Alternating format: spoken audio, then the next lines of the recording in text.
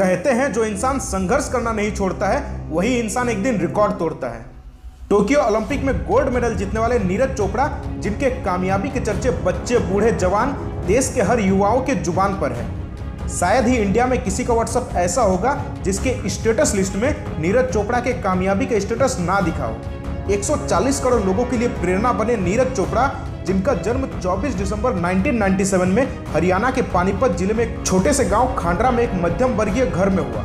आसान नहीं था इनके लिए कामयाबी का सफ़र, पर वो कहते हैं ना, जिनके अंदर जिद होती है, कामयाबी की भूख होती है, ऐसे लोग जब तक कामयाब ना हो जाए, हार नहीं मानते हैं। पर इन्हें भी पहली कोशिश में ही कामयाबी नहीं मिली, ये भी पहले हारे। गिर कर उठे, फिर दुगने जोश के साथ दोबारा मेहनत किए। इतना ज़्यादा प्रैक्टिस किए कि एक के बाद एक अपने ही बनाए रिकॉर्ड को तोड़ते चले गए। इनका एक बात जो मुझे बहुत अच्छी लगी, कि ज़बरदस्ती का मेहनत आप ज़्यादा दिन तक नहीं कर पाओगे।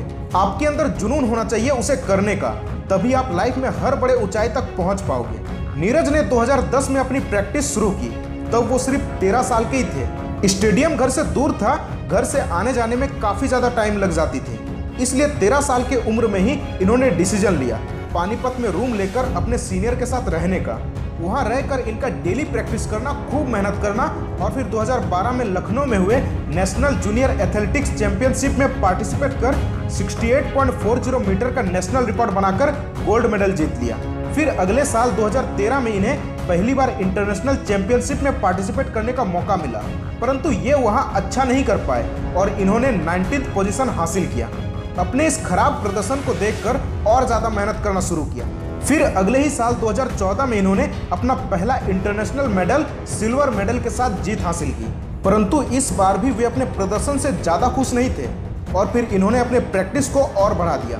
दिन रात मेहनत करने लग गए और 2016 में हुए चैंपियनशिप में फ़र्स्ट पोजीशन पर आकर गोल्ड मेडल अपने नाम कर लिया।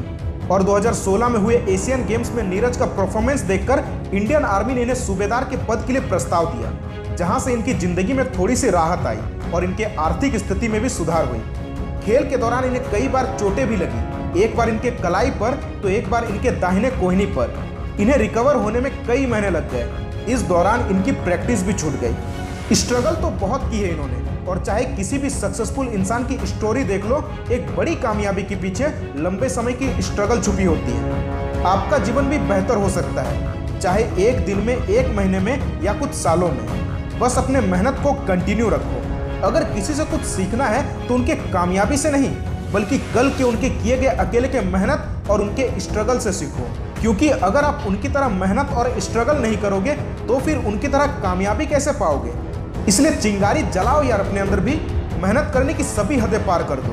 वो कामयाबी जो कोई सोच भी ना सके, आप हासिल खुद के नाम वो कामयाबी कर दो। अगर वीडियो पसंद आई हो तो ही इसे लाइक और शेयर करना। धन्यवाद।